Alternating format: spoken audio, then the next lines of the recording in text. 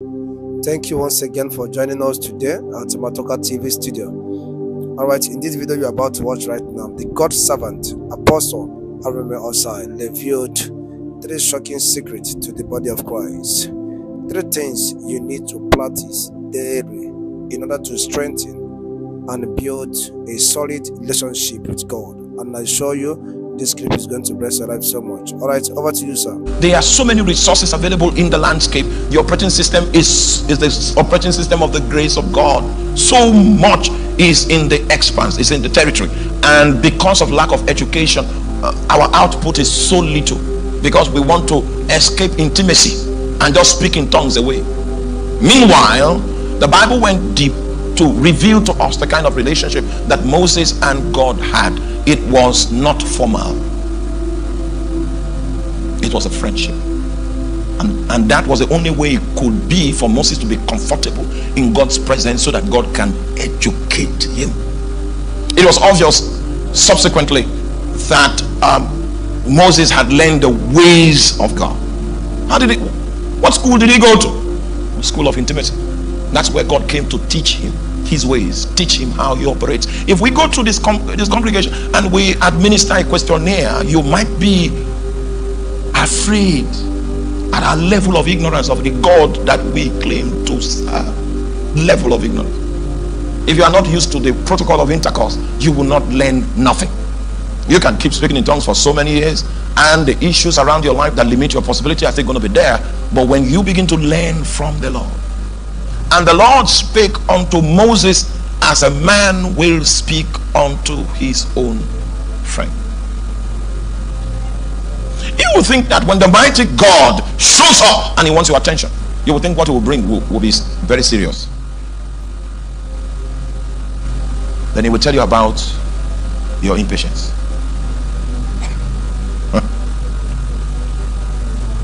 And for the next two months, it's locked in your head. Impatience, impatience, impatience.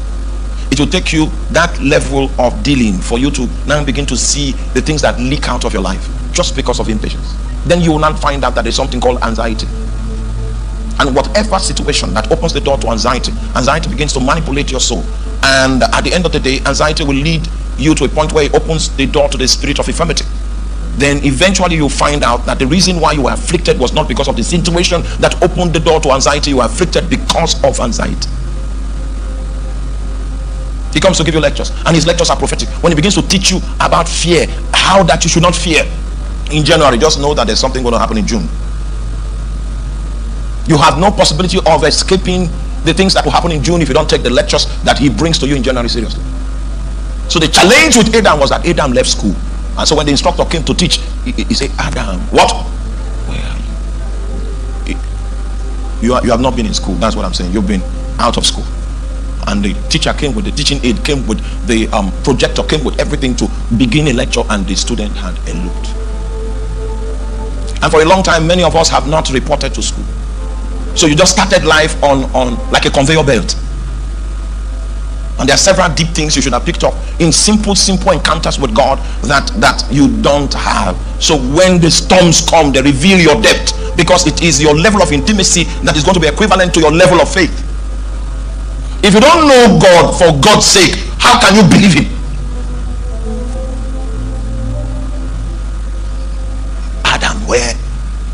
Please help me tell your neighbor. It's the same question the Lord is asking this evening. Where thou? Where thou? You left school left training and you're on the field running naked he knows that the next time you meet with the devil you are going to crash land and there are so many intensive care units now because people took off without any debt and so jesus has to run clinics to rehabilitate so many people and the lord spoke. This thing that is written in this one scripture it will take you some time before you get to this school even with the holy ghost in your heart. Because that person that man that woman that that is so eager to rush and run away you don't deliberately schedule an appointment with god. It doesn't matter how you, where you work. You work in zenith bank. Pastor john you worked in zenith bank for many years. Do you guys work on sunday? You don't, you don't work on sunday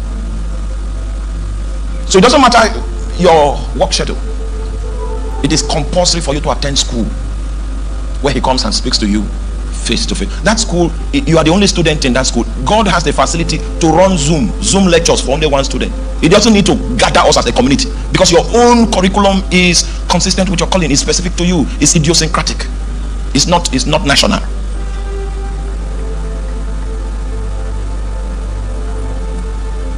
I came to challenge you this, this evening. What what have you really learned from the school of intimacy? What do you know about yourself? What do you know about your family? What do you know about the calling that God put in your family? Because every tribe has a grace. The sons of Issachar, the Bible says, were men that understood the times and knew what Israel ought to do. That was a family grace that was upon the people, and they knew it and they were walking in it. What do you know about the grace that was designed for your family? You've not been to school. So a lot about your identity is has not been received. You are just trying out life with the few five pebbles of stones that you have in your hand, hoping that one of the shots will bring the giant down. let me let me give you an idea. Building intimacy with god is something that you do consciously deliberately and daily. It's conscious. It's deliberate. And it is daily. The first thing that i want to tell you about first requirement if you want to build that structure in your life because the, the, the reason for the metaphor of the tabernacle of moses is that god wants you to engage him personally and intimately if you're going to have a, an intimate relationship with God, the first thing that is needful for you to do is to discard a certain kind of haste that is part of the fall that is locked in your soul. When, when we call for a prayer meeting, have you noticed? You have not noticed? There's a haste in your soul. All right? You will need to murder that haste, you need to kill it. That haste is one of the strands of the fall of man. Because since man became a rebel, he doesn't want to stay in God's presence he moves out of God's layer. So there's that haste that is in your soul that you need to conquer. You need to conquer by subscribing to patience, waiting in the presence of the Lord. The second thing you will need to do is to learn how to speak to God. Now, most of us, for most of us, prayer is very formal. Our God that is in the third heavens, that sits as a luminary governor among the nations. Yeah. May Lord help us in the name of Jesus.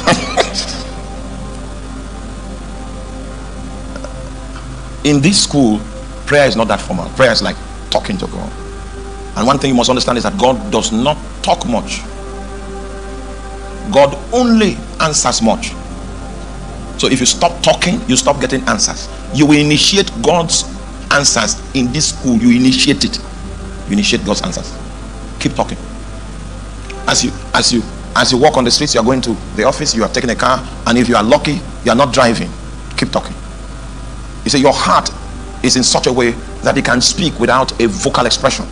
Your heart is designed like that. Your heart has a vocal cord, and you can mobilize your heart to begin to communicate with God and speak to God. You will find out, you will find out after a while. Just keep doing it every day, every day. A time will come when you try to, you set out, He will answer you.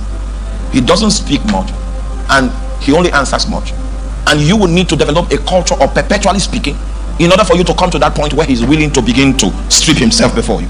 This is a very secret school, and only Moses gets to activate the possibilities of the school. And I'm praying that you will be that Moses, that Moses that will activate the possibilities that are locked up in in a mysterious place called the tabernacle. It's accessible, but it's covered, it's enclosed. So the things happening inside are not are not are not up for everybody to view. Hallelujah. And it's like a boot and only one person has very good accommodation inside action. So it's designed for your personalized engagements. So you will need to schedule your heart, program your heart to begin to commune, communicate, talk to God. Start with your problems. That's a good place to start. Oh God, can you see? I am crying. Are you not seeing? In that school, it's not formality. Everybody is real there. He speaks to Moses like a man will speak unto. If you have a friend, Sister if you have a friend, won't you tell her your, you know, your challenges, the kind of stuff? That's that's that's how the person will know that you have accepted her as a friend. You can open up. You can say there is a challenge in the family. This thing I'm telling you is going to be you have to cut it. The next thing you will do when you learn how to speak to God, speak with God, is that you will learn how to practice obedience. The Holy Spirit is not powerful in a vessel where his authority is not acknowledged. You know, Jesus actually slept in the boat, and there was a storm, but Jesus was sleeping, and he snored. Oh, hallelujah! So, what releases Jesus for, for action is not danger. In the face of so much danger, Jesus was snoring. Oh, now the reason why I brought that that scripture is because he can sleep in your life too. And for many of us, he's been dozing. He's, he has gone to even buy um, an orthopedic bed because it's a good place for snoring. In order for you to engage Jesus, engage the Holy Ghost, you must make him Lord. You must you must establish that he is worthy to be obeyed.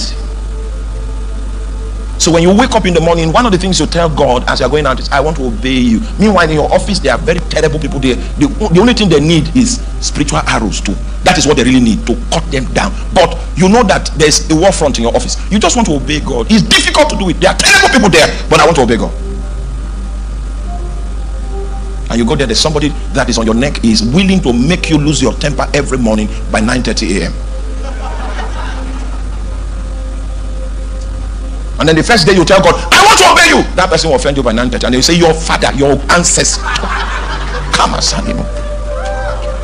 Then you remember that, ah, I said I wanted to obey you. Then you go into a, to a corner, you repent and say, Lord, you see, if you don't help me on these matters, I'm going to, I don't know, I don't know what I'm capable of right now. But, and then tomorrow again, you tell him, I want to obey you.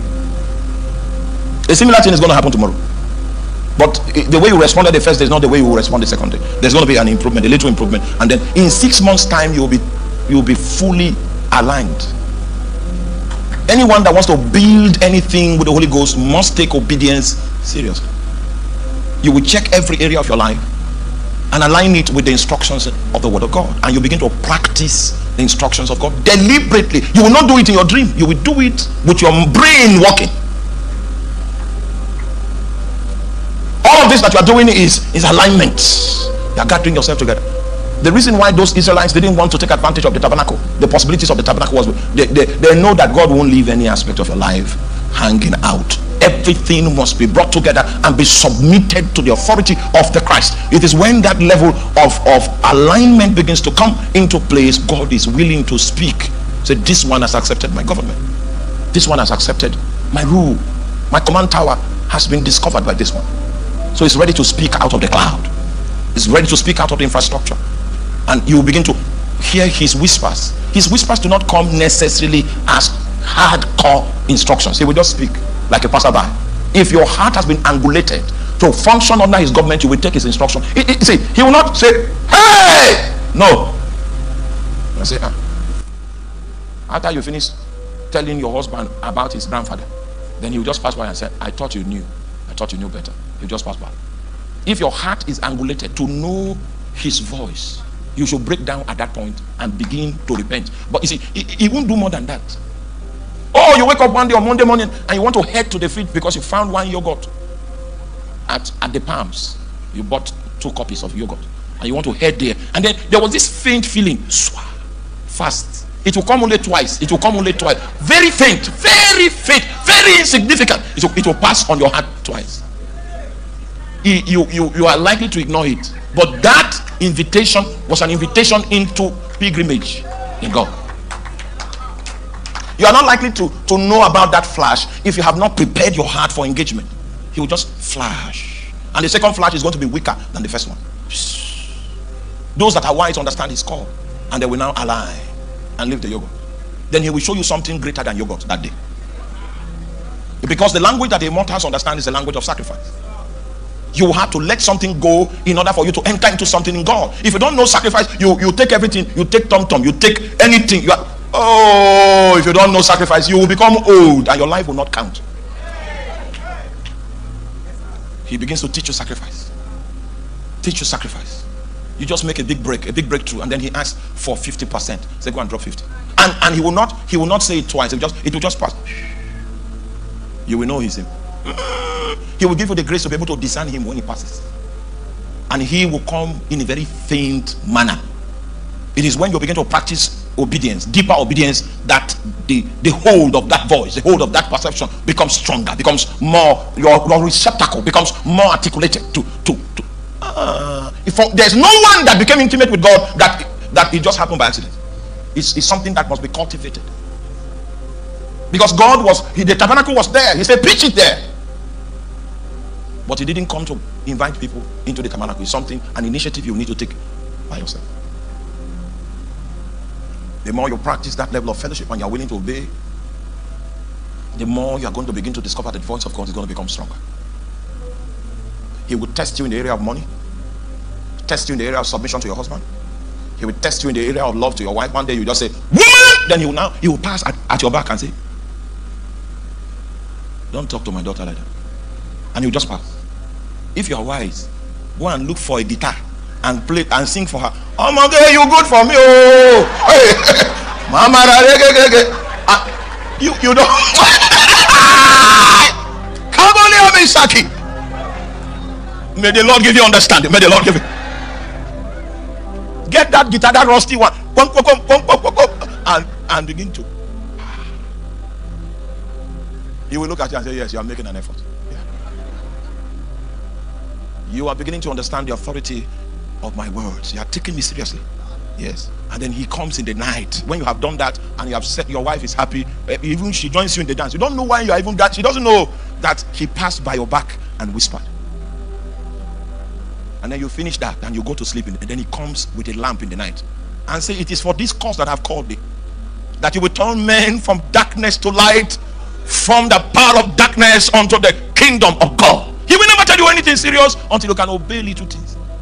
It's, it's primary school. That's why we learn ABC. Most of you took off like a tornado. You didn't attend primary school. You were a dropout. You were saying, Where are you? Where are you? Meanwhile, you have joined Unilag.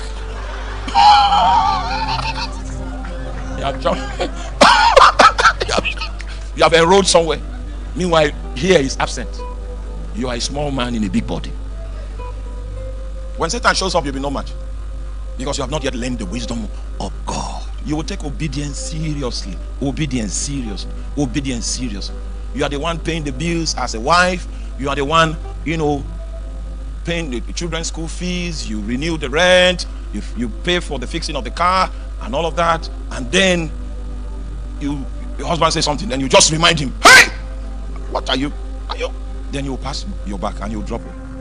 He said, but I didn't teach you this one. I didn't teach you this one. If you are wise, you will change it to a song instantly. You just start singing. Start singing. Start. When he sees your effort to obey, your effort may not be good enough, but at least you you are you attempted.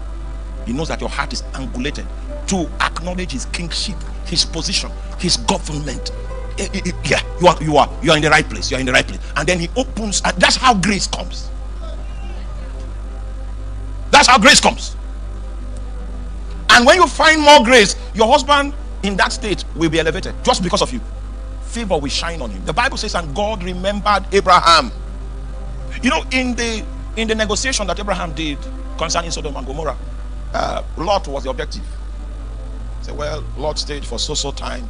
He must have evangelized, and I'm sure that uh, he's a profitable man to the kingdom of God. So there must be at least ten righteous people in the landscape. Uh, meanwhile, there was a statement that Abraham made that caught God's attention. Abraham wouldn't have gone further with negotiation. He, he said, Will you destroy the righteous and the wicked? He would have stopped there. But God didn't answer because he, he, he caught God there. But he went to negotiate. Okay, 50 if you find 50 if you find. Then he stopped at 10. So according to the negotiation, Lot was to be crushed with fire. Because Lot was not productive. It was just his household that was spared that was righteous, that passed the test. And the, but the Bible says that, and God remembered Abraham. This was not part of the negotiation that we're talking about. And God did what? He remembered Abraham. Because of his remembering Abraham, he sent deliverance to, to that was mercy. And the mercy was was as a result of an intimacy he found with Abraham. Do you know that because of your own intimacy with God, God can look upon your husband and say, You will not die. You will not die. Because you are in this woman's life, and this my daughter's life. This my daughter that has honored me like this. You will live. You will live. Lot would have thought that it was the night vigil he engaged in that, that led to his deliverance. But only mercy. The Bible said that it was Abraham that God remembered and sent redemption to Lord. There are so many things that God does for an intimate fellow. Prayer is on three levels. You can pray to God as Father. You can engage God as a judge. You can also engage God from the standpoint of friendship. These are the three levels of prayer. And when you are engaging God as a friend, there are many rules you break. Many rules. Many you will hear people like Abraham say, If I found favor in your sight, is is is intimacy is a currency for negotiation. If just if I have found what favor in your sight. These are men that have discovered the technique of how to move the hand of God. Where are you?